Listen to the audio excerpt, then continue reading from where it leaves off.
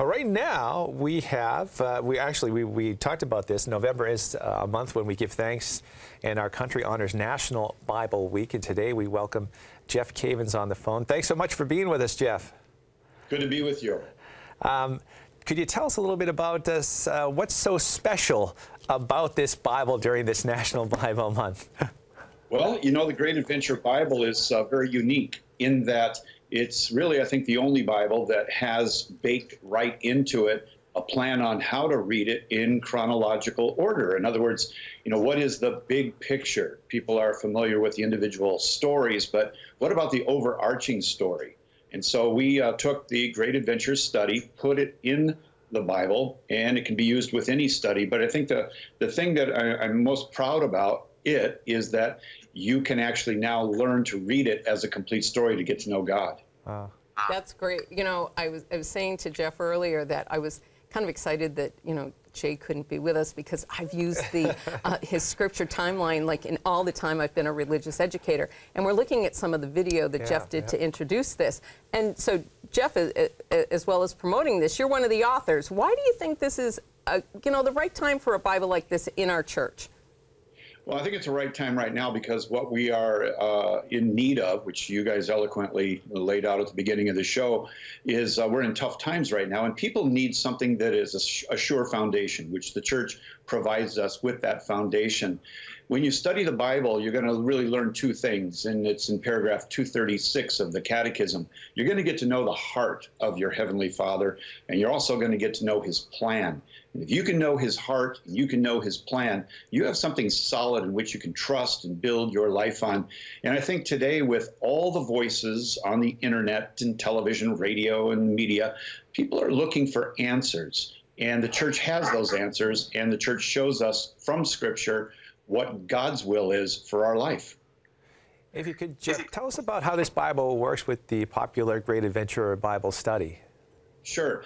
Well, the Great Adventure Study is 24 weeks through the entire Bible. I do 24 one hour talks. We also have a kind of a, a quick walkthrough, which is unlocking the mystery of the Bible, eight half hour sessions. The Bible fits in perfectly because that is the DNA of the Great Adventure Study the 12 periods, 14 narrative books showing you where all the other 59 fit in. That's basically what we do, and that's what our goal is, is to help people navigate and understand the Bible. Uh, and so it fits in perfectly with that. But it also stands on its own as a Bible that could be used with any other study or simply for devotions or Lectio Divina. In fact, we have amazing scholars that have joined us. Uh, Dr. Mary Healy, from the Pontifical Biblical Commission, uh, Dr. Peter Williamson, uh, Dr. Andrew Swafford from Benedictine in Atchison.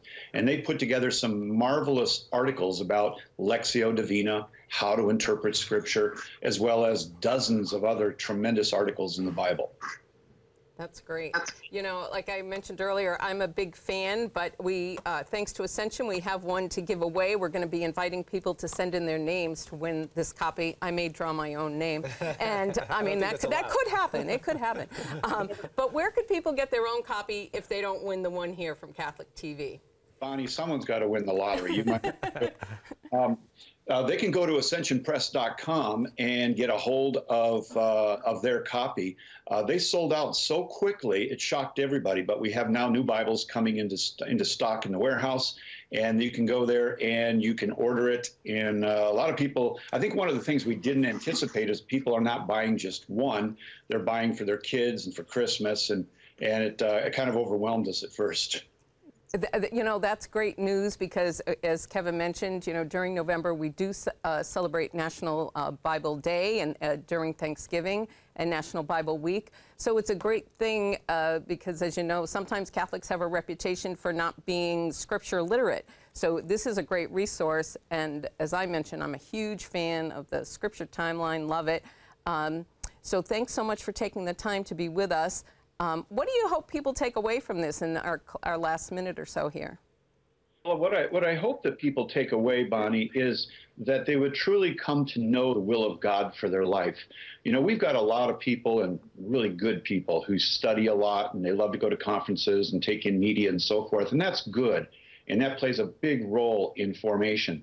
But there comes a time where we have to become activated disciples. We have to put our faith into practice. And my hope is that people will co- come to really know the Lord intimately and to know the way He thinks, the way he lives, the way he acts, and that as the body of Christ, we'll carry that out in the world. I, I, think that some of the problems that we're facing can be remedied by good people following Christ and becoming the body in, in, the, in the world and doing his will. Well, that would be just a beautiful thing, certainly something sorely needed in our world today. Jeff, thanks so much for your time. We really appreciate you taking the time to be with us and have a great day. Thank you. Thanks, Bonnie. Thanks, Kevin.